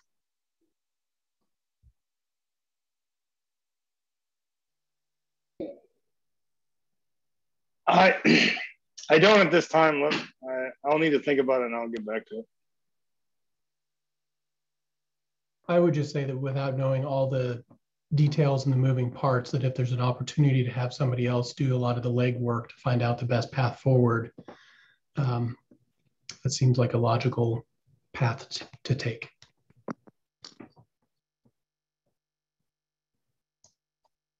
I ask a question um, of Charles and Jan? Um, and Nancy, maybe you know this answer too. Um, is there a possibility for making an update in the near term based on the hope recommendations, based on what we know now, um, with that sense of urgency um, that these funds are here now, with the flexibility to update it again in a year or a year and a half after IHN um, has gone through this process of convening and mapping out funding. I don't see why not. I mean, nothing stops council from reviewing any policy at any time. Um, this has just been brought forward because it's been neglected and pushed back. But I mean, if, if the council sees this as a priority because of new information or new services or new needs, I mean, yeah, at any time the council could just say, we want to review our policy and make changes. Well, and realistically, wanting to respect staff time of my city colleagues, um, is this a huge, huge lift um, to change this again in a year, year and a half after there's maybe more information about strategic mapping? Well, I can't speak to staff's availability or workload. Um, but part of the reason why it was put off was staff's workload that was in the mentioned in the packet for the work session. But still, even with that, I mean, in the end, anything that the council decides is a priority, it's a priority, you know, at any time. There might be some pushback from staff, and that's understandable. I understand they have a hard job to do. Um, but really, if, if the council votes, makes a motion and agrees that this is a priority, it, it's a priority and it gets done. So that's that's my opinion. Okay, and that's thanks. how it's supposed to work. Um, there was one thing in the chat from Ari. Um, do you want to share that um, from your perspective outside of Corvallis? That it makes sense that you know there are a lot of other communities that are involved. And so how how do the communities fit in with this as catherine was saying? Because it's just not corvallis it's not an, uh, an isolated thing. So uh, you know we cover all of benton county. So how does this you know fit with that concept? That's it. Thanks, Ari. I mean, the, the city council is looking at how they utilize funding streams really in Corvallis. Um, and then IHN and Melissa, I'll go to you in just a second. You know, they cover all of Benton County and the Tri-County area. Um, so I think what I'm hearing from um, Ari and also Catherine for you, Melissa and Charissa, um, is to be inclusive of our providers and partners and smaller cities outside of Corvallis as you go through this funding mapping um, so that those funding streams and uh, service providers are included too. Do you have time for a quick comment? I wanted to agree with with Charles. Yes, the, the city council is de facto the governing body of the city. And if they want to make a spending priority, then they, they certainly can. It is the competing priorities that we have to look at. And, and one of the things that I do would like to point out was that because of the CARES funding that was funneled through the city and the ARPA funding that was funneled through the city, uh, we did, I think our, our social services did receive um, a, a, few million at least in, in distributed funds that, that were, you know, stepped through our organization. And now that we have um, Paul Bilotta and Brigida working together on, on um, a, a, strategic uh, aspects of, of how to fund these organiza- organ- social services organizations. I think I think we're we're we we have made some strides there. So um, I'm I would like to talk with uh, a couple of you one on one if if that's okay. Just give me a call. I know I I can call you back too. Thanks, Jan. Um, Melissa Isavor, and I saw your hand up, um, and then Nancy. Oh, Melissa, you are muted. I think I got it. Can you hear me? Okay. I just wanted to make sure that uh, I was clear in that IHNCCO, yes, we are, are a regional organization. We work with all communities across Lincoln, Benton, and Linn counties. And so um, to that end, this is not going to be just a, a Benton County effort or, or looking at one city in particular. It will be an effort to track all the funding streams we can related to housing and social. Melissa, your your audio just went out at housing and social services. Now you're uh, back. Okay. Um, but in any event, you know, tracking those those funding streams, what they can be used for, the timeline to spend them.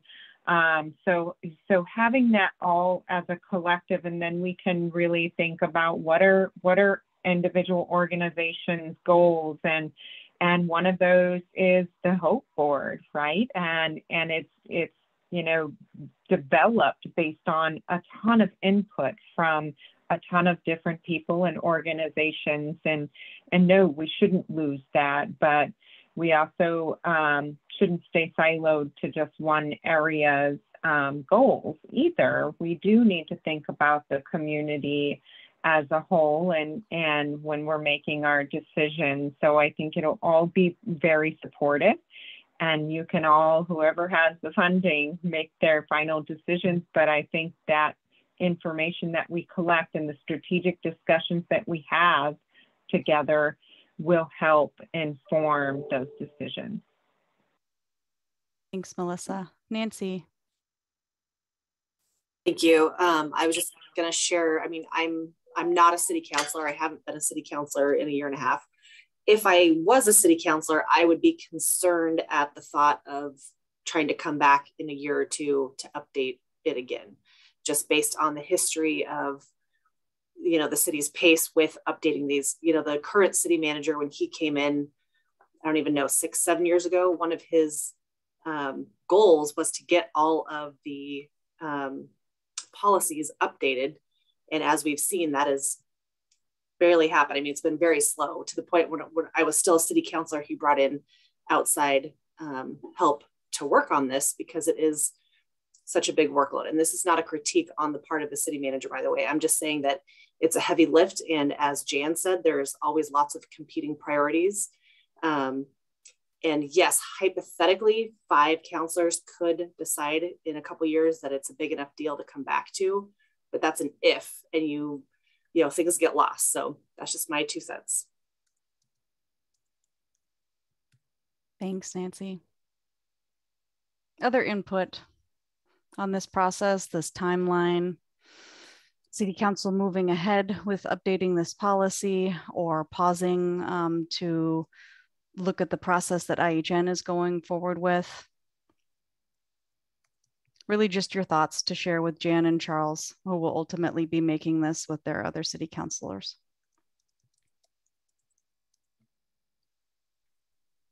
I'd just like to add, even tomorrow's work session is, we don't make final decisions and work sessions. They're for discussion, to give staff an idea of what's the direction council wants to go. But, it, you know, the final thing would be brought back to council for a vote. And of course, you know, that's open to public participation. So, you know, if you think of something, have other comments, suggestions, you can email the council. Um, that's easily done, or even sign up to give testimony at a council meeting. I encourage public participation. Thanks for that, Charles. Good reminder. Um, Peggy has had to leave uh, to get to a meeting in Salem, and Melissa's video is off, but her audio is still working, just so folks know. Any other insights or feedback or questions? Or input for Melissa and Charissa at IHN as they move forward, looking at how to convene funding partners strategically.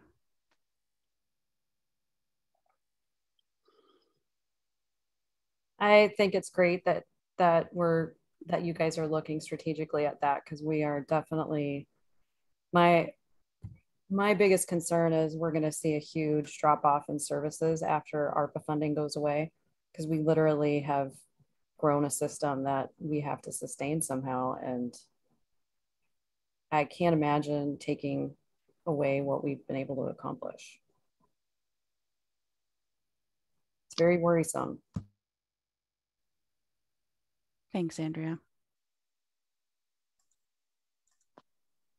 Um, and Melissa is a Voren. Um, we have requests to put your email in the chat, but I'm guessing that you can't chat right now if you're just on the phone. Would you like me to copy and paste your email?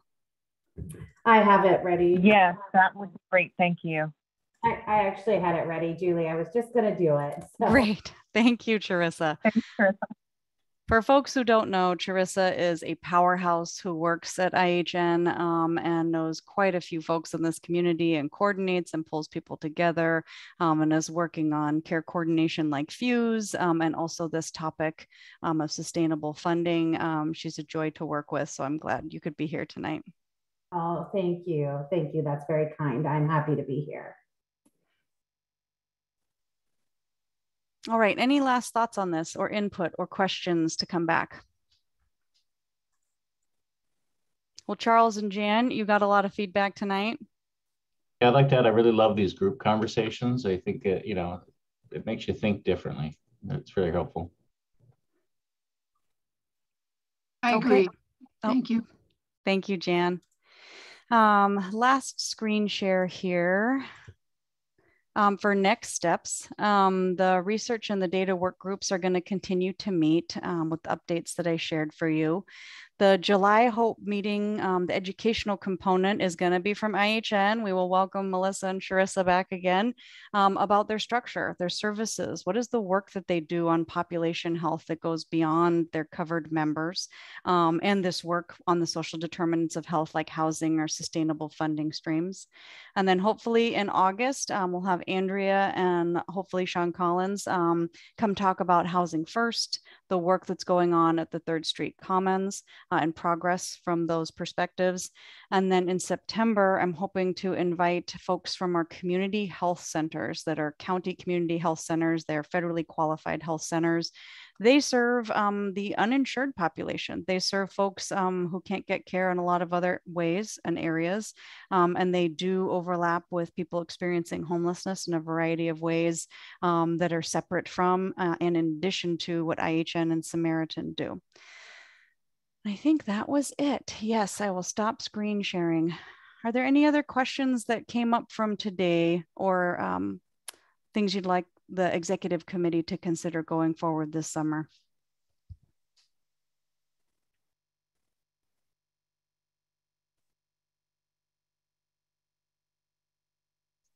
You follow up with Maddie about ways to make the sort information. So that's in your court. It is, and I'll probably just CC you on the email, Carol, so that you can get all of the info you'd like for the League of Women Voters uh, group.